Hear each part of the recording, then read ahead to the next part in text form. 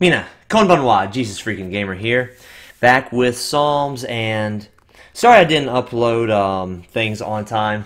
As usual, we're going to do four videos today, two Dark Souls videos, and two Bible preaching videos, and I do owe one 30-minute message. As always, I'm falling behind in some stupid way. So I'm going to try to play catch-up, and let's go to Psalm 4, verse 8. I will both lie down in peace and sleep for you alone, O Lord, make me dwell in safety.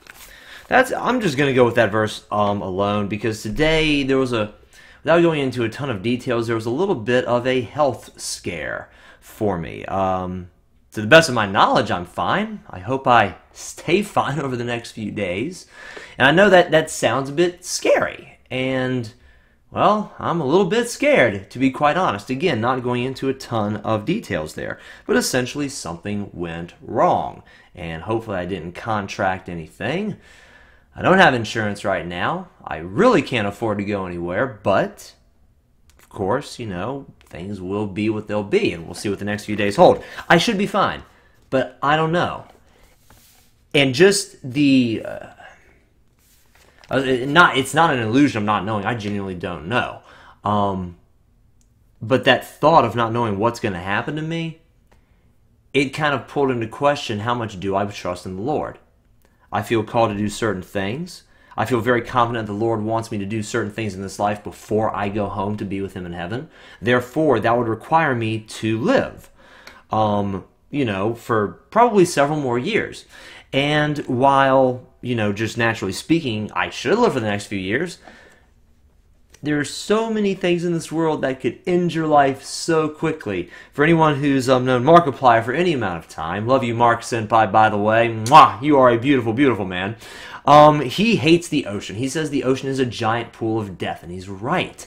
Well, in certain parts of the world, um, there are animals full of death. There are insects full of death. The air is full of death. Various temperature zones. The temperatures alone are death. And everywhere else in the universe other than Earth is death for living matter it's kind of, in a sense we're surrounded by death on all sides. This reality can be a bit of a scary place, and it did, and it called into question how much do I believe in God to get me through this little scare that I'm going through now. To get, and I'm not trying to be melodramatic. Like crap could go down. I'm going to be looking into the matter a little bit more tomorrow. So I'm talking to y'all in the middle of this, and it's probably all in my mind.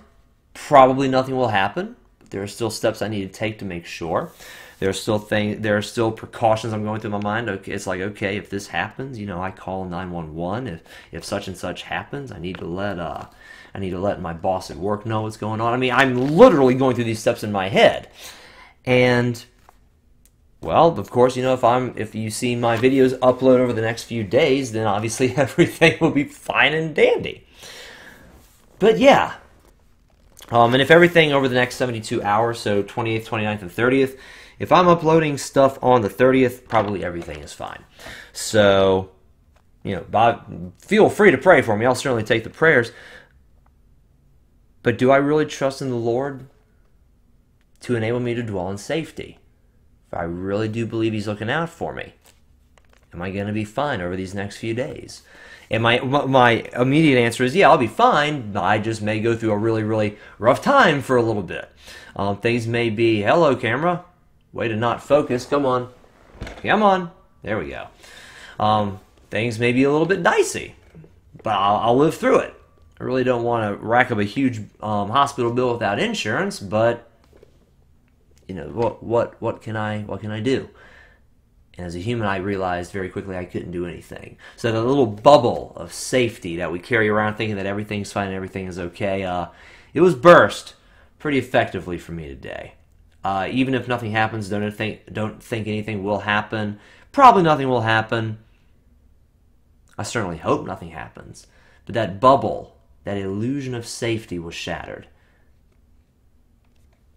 And I want to say right now, while I'm feeling well, even if something does happen, that doesn't take away from the fact that I will make it through and I will live, despite whatever horrible thing may or may not happen.